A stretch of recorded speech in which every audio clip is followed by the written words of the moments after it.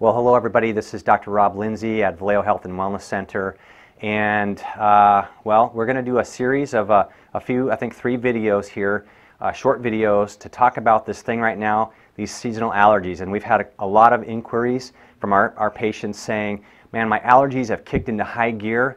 What can I do? So I want to take a few minutes and talk about that.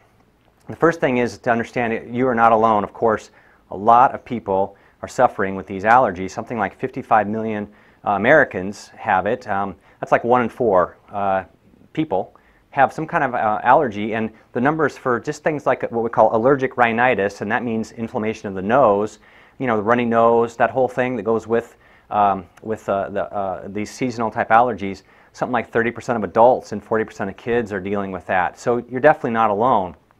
So let's talk. Well, what is an allergy? You know, what, what is this thing? Because people say it all the time. Well, I'm allergic to this, I'm allergic to that. Well, really, uh, when we're talking about seasonal allergy symptoms, you know, such as you know, runny nose, that's one of the, the common symptoms, itchy eyes, um, congestion, these things are caused by an immune system that is, it's responding to something in your environment and uh, it, it's, a, it's a hypersensitive response. And it could be to a pollen, it could be a, to a dust, it could be to, to a mold like snow mold.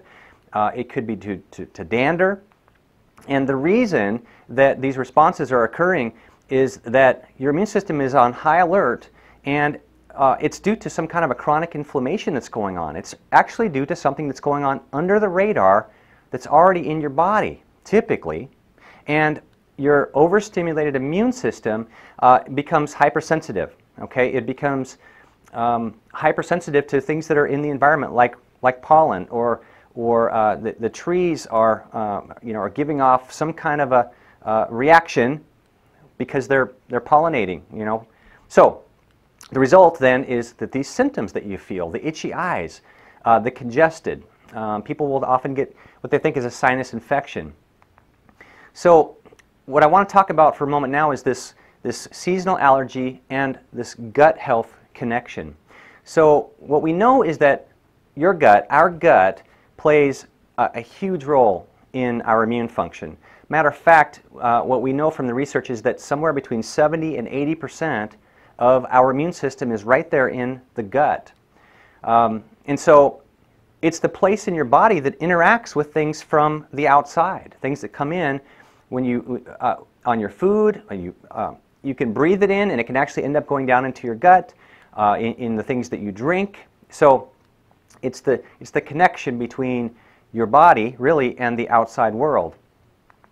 And what it does is it takes in nutrients from your food, of course. You eat food, it gets into your, into your gut. And when I say gut, I'm predominantly talking about the, uh, the, the, small intestine, okay? So food gets uh, taken in and it goes through the wall of your intestine into your bloodstream and it gets carried around your body. The other thing that this immune system does in your gut is it's supposed to keep out certain things like like bacteria, you know, like viruses, like, like uh, parasites, like fungal, like heavy metals, um, like undigested food particles. We, we don't want those things getting into our bloodstream.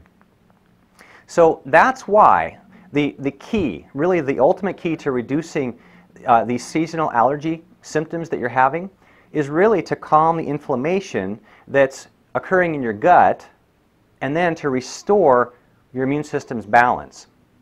So what I want to do is I want to take a moment and talk about uh, this thing called leaky gut syndrome. So we're going to talk about leaky gut syndrome in the next video. So stay tuned. Thank you very much for watching and uh, check the next video. Thanks.